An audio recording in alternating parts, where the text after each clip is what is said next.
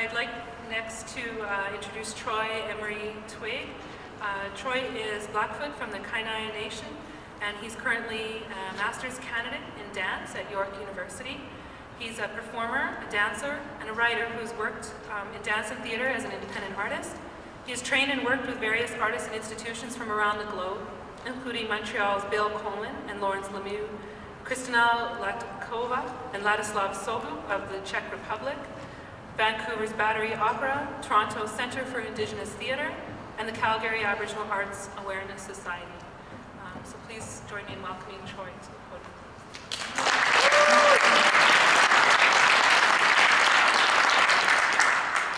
Thank you very much.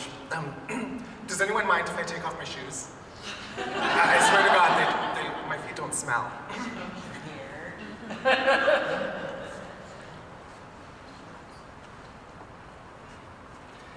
There we go. I'm nice and comfortable now. Yeah, don't be afraid. Thanks.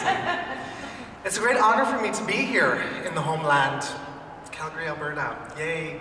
I spent time in Toronto, and uh, if, if you've been there, it is the concrete jungle, but uh, there's many um, inspiring things that evolve from that city, and I was very honored to, to have been there at York University and worked with so many wonderful people, um, and uh, working at the Center for Indigenous Theatre, and uh, working with the wonderful Lee Maracle. And uh, it's an honor for me to be here, and I just want to acknowledge my great teachers and people that I've worked with, such as Lee and Joane Cardinal-Schubert, and, and my aunt, Beverly Hungry Wolf. and uh, yeah, so uh, a little bit about myself. Um, uh, I'm a dancer. I'm interested in movement. I'm interested in the language of movement. And I'm interested in, in how we place our bodies in space and time and what we can say through our bodies. And I just want to be begin by um, reading an article that I had written, and this was very early, early on, um, when Joan called me and I was like, oh, 10 minutes, what do you do? What do you do in 10 minutes? And you start looking through things. And, and the amazing thing was that I, I was able to clean my house last night. I was looking for this one article and I was like, oh my God, I'm not doing anything until I find this article, right? And I was very intrigued to, to bring it and read it. And uh, so I went through the whole thing and I moved back from Toronto. So, so my house is in order, so I get to go back home to Lethbridge and, and, and enjoy myself when I get there. But uh, it happened to be in my office today, and I looked at it. But I also found this, and I thought, hmm, okay, so what is it that I really want to say? What is it that I really want to do? And I looked at this and I thought, wow, this was an early article that I had written, you know, that, that sort of describes my curiosity and, and where I'm going. the title of the article is um, A Story of an Injury at Union Station how Ancient Memories Travel Through the Blood, Peter Chin and Me. I was sitting and speaking with a colleague of mine and discussing this idea of how dancers transform themselves, utilizing body isolations to capture specific and authentic movement qualities of a particular style of dance.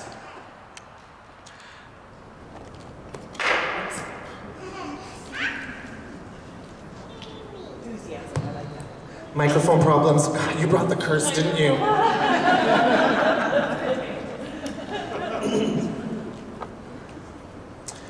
uh, for instance, how we train ourselves, our thoughts, and what it is we do to completely immerse ourselves wholly and honestly into performance. Nothing explains how we do it, and we spend a lifetime in a particular cultural surrounding, observing and being a part of it that defines how we move and what our capabilities are. Dancers may have an advantage of learning how to isolate certain parts of the body and duplicating movement to represent what it is they are trying to recreate, interpret, and or imitate. But how does a particular breed of people succeed in adapting qualities of others and making this intrinsic of their own style and way of moving? Well, let me introduce you to a little fellow, very big in the Canadian dance scene, by the name of Peter Chin. The ironic thing about this national astonishing established choreographer and dancer is that he did not train in dance at all.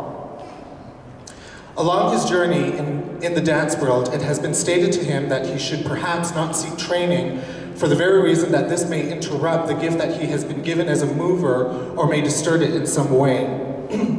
Mr. Chin is the artistic director of Tribal Crackling Wind, who has been working and developing his style with various cultures through, uh, around the globe. When I spoke with Peter Chin, we were quite amazed to learn that we had both studied with some familiar people in the world of dance. I had taken a workshop with Chin at York University in Toronto, where he introduced a different method of transformation and trance through movement, a subtle impulse initiated from the core of the body that has the capabilities to expand into interesting pers personal narratives of movement. Transformation is something that I have been working with to incorporate into my own work after spending a month developing work for a Vancouver dance theatre company by the name of Battery Opera. Opera artistic director Lee Fei introduced animal transformations to the company and utilized gestures, hand gestures, and movements such as the Indonesian dance forms. Chin had been exploring the similar technique with us in the workshop. Immediately, I thought this way of working was all too familiar to me. I had done workshops with Maria Darmangashi, an Indonesian, Javanese, court, and Balinese dancer who introduces more of the style traditionally. Much to my mild amazement in our discussion, we had learned that we knew and worked with her both at one time or another on our journeys. Chin had also worked with various Aboriginal artists as well as First Nations Red Sky Company to develop work in Toronto. Working with such diverse cultures in a contemporary dance style clearly defines Peter Chin as unidentified and uncategorized. Born in Jamaica and based in Toronto, this award-winning multidisciplinary artist was educated in a variety of forms including voice, piano, sculpture, video, and performance art. Mr. Chin has recently expanded into the world of dance and choreography, which he very interesting, interestingly claims may have come from his ancestors traveling through the blood. Peter became almost obsessed with how the body is capable of moving from every twitch in the face to the pointing of the toes and became insistent on practicing and feeling very comfortable and connected with these actions. He is interested in this inner life that gets revealed through art, unveiling the mysteries. This, he states, is very personal. It allows for the dialogue or text to be made available through movement. In telling his own story, when someone begins to move, what he did find fascinating was just the impulse and submitting to a state of transcendence, with no defined possibilities, structures, or literal explanatory narratives. Chin states that his movement goes beyond the stage and acts as synapses of transferring information, never depicting anything. He introduces his method as a way to compose while the body is engaged in the inner logic. This way of working for Chin is revealing the inner stories situated at the core. These become ways of working out into the extremities, building a very personal vocabulary that speaks to the observer almost as a one-on-one -on -one conversation. Peter Chin began his workshop by explaining that he would only speak to us and not do too much movement due to an injury from a performing arts uh, gig at the Union Station earlier that week. However, his pondering and unsure strategy of how to begin his workshop was evident to us by the look on his face. He reverted to what he felt most comfortable in doing and gave us personal insight into his world by storytelling through movement of, of, of his incident at the station. This set the tone for what would be expected in the work we were about to engage ourselves in and would explain how people can make movement qualities and isolations intrinsic to their own style. Now fast forward, when I'm writing my thesis. The title of my thesis was called uh, um, Reconstruction, Restoration, Preservation, an investigation into contemporary art derived from traditional Blackfoot song and dance. And I had went out, I was interested in this concept, I was interested in these ideologies and, and pillars and structures of, of, of how dance and song inform us as a people in, uh, in our Blackfoot culture and I had spoken to four um, Aboriginal contemporary artists, artists in visual arts, dance, uh, uh, song, song creation, and, uh, and, and dance on film. And I also spoke to elders in our community, and we talked about the sacred dancing, We talked about uh, dances and how they were given to our people, and songs and how they were given to our people. And uh, speaking to my elders, we talked about uh, how, how the consciousness and how the songs are consistently around us, and how you can walk through, even just walking from here to the, to, to the exit door, if we're conscious enough, those melodies come. I was speaking to Olivia Tailfeathers, who is a contemporary songwriter and, uh, and musician, and she talked about working in this, in this, in these structures, and she is a contemporary recording artist, and uh, she talked about the story of how she went down to the, to the, uh, to the Belly River, and sitting there, she started having this dialogue, this physical dialogue with these beavers. And these beavers would splash and dip and breathe, you know, and they were right in front of her. And so she started speaking Blackfoot to them. And she started speaking in Blackfoot Sign Language to them. And the layers started coming in. As they started coming in, she started to develop this, this melody. And this melody came to her, and she started to place all of this together after spending hours down there. And, and she began to sing, right? She began to sing, We are, we are, hey, hey, ah, hey, hey, ah, hey, hey, ah. And then this other layer came in higher above with, with, with higher voices, like the grandmothers. We are, way, way, way, we are, hey, ah, hey, ah, hey, ah, So all of these layers started to interweave themselves together, and I was like, I, I just thought this was absolutely brilliant.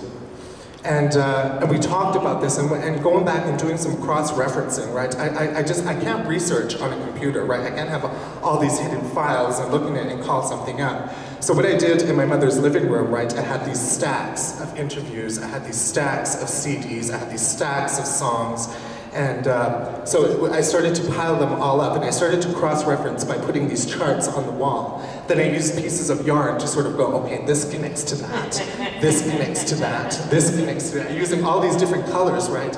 And when people come walking into the living room, they look at it and they go, oh, Troy, are you doing your art again? Wonderful installation piece, right? And I looked at it and I never thought of it that way, but I looked at it and only I could understand this, right?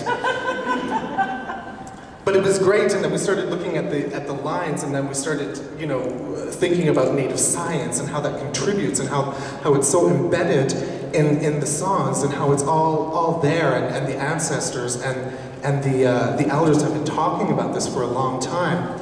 And uh, one of my elders talked about walking through, and when you hear and you can listen and you, and, and you can, through the blood, blood memory, as Peter Chin talked about, but again, my elder talked about it in a different way that was so parallel to this, which was very universal, and started to talk about um, how you can walk through and, and the wind through the grass, you know, the cries of the animal, the howling of the wolf can all sort of develop, develop that. So I have to tell you a really interesting story. I was at York University, I was walking down, down between the Osgoode Law School and the Fine Arts School, and I was, as I was walking down, I'm pondering all of this stuff, and I'm like, thinking, geez, I just, I, I just got back from the Blood Reserve, and I'm like, when is it my turn?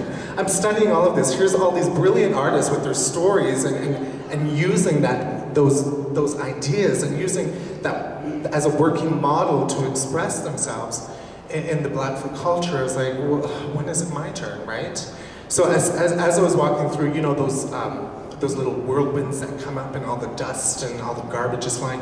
Well, it just so hit as I was as I stepped onto the onto the concrete, and it just it just blew around my shoulder, and, and it sort of hugged me like this, and I was like.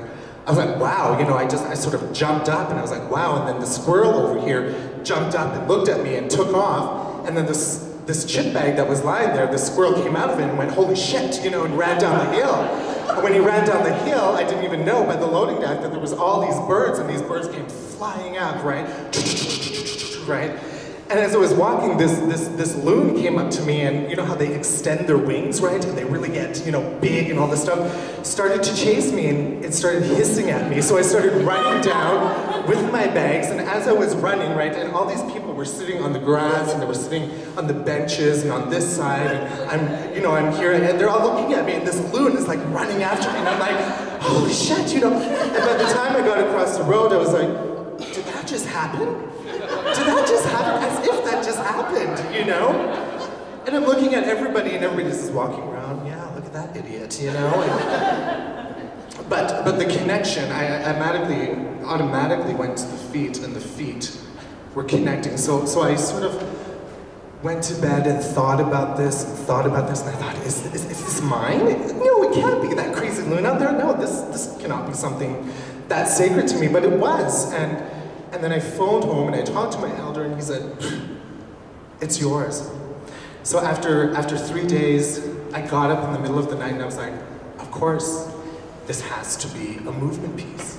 This has to be a movement piece. All that connectivity, all that exchange of energy, what happened through the wind, and nature, and human, and animals, and earth, and other people connected around this. Although I look like the silly one and it was only my experience, it was a connection to everything else. so I invited, uh, I invited uh, a Toronto choreographer to come into the uh, studio to to hash this out. We just needed, I, I, just needed to get in there and start moving and start discovering what this was all about and, uh, and bringing all these stories together and going back to my installation piece in my mother's living room, right, looking at all the stories, looking at how I started to connect all of these and the idea of transformation and transformation to the body that connection, that connectivity, it became very simple. Um, Peter Brook often talks about how he would like to capture in theater that, that raw essence of performance and ritual, the observers, the people involved in the ritual. You can, you can never ever get to that, to that height, that elevation in terms of theater. Theater is also, as far as I'm concerned, is a ritual in itself, you know. One of my, one of my friends, who's a performance artist, said, even a bowel movement is ritual, right? So, so I, I, began to explore, and I began to explore this, and, and we came up with some, some interesting moves, some interesting vocabulary, and, and stuff that's started to inform my body, and I started to place these because our people were shapeshifters at one time or another, right? They said th th this, this whole humanity has been asleep for hundreds and hundreds of years, but we're able to move things with the mind, we're able to transform, and because everything is connected. And when you look at it to the dances nowadays, you look at the um, you look at the birds, you look at the prairie chicken dances, right? When I brought some people from Toronto and brought them to a powwow, they're like, wow, these bodies are totally transformed.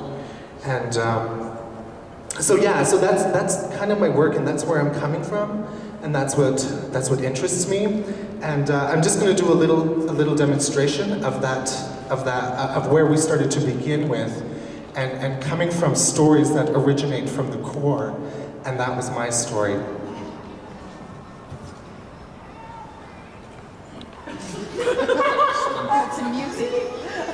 Thanks for bringing my soundtrack.